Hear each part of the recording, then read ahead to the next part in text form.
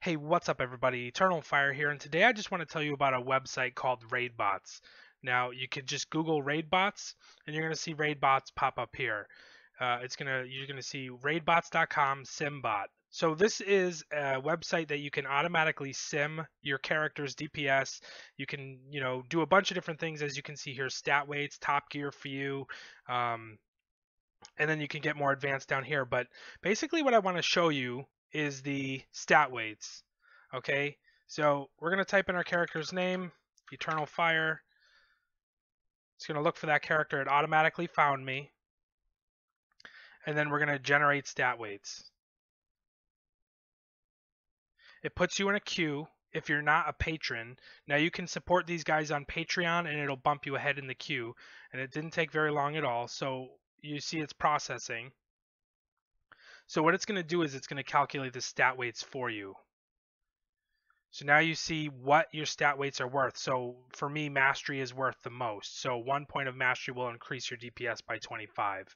So I want as much mastery as I can, and you can just see the the stat breakdown.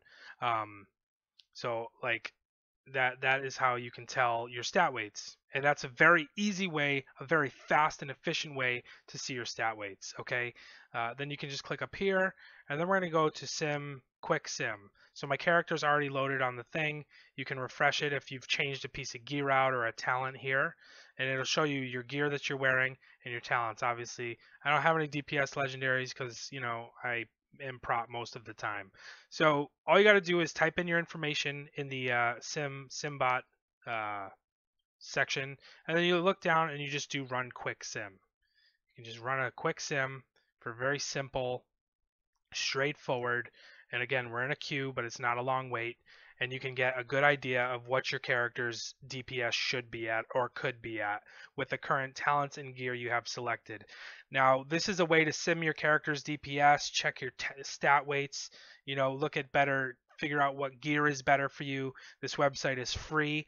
All the uh, the the generating of this is done on their end so it's not going to slow your cpu down at all so it's definitely if this is something you're going to use frequently i would highly recommend you get on patreon and support these guys they've done a lot of work to make this free and available to everyone so as you can see here my warrior uh, simmed dps is at 975k uh, dps so and that again is using this stuff.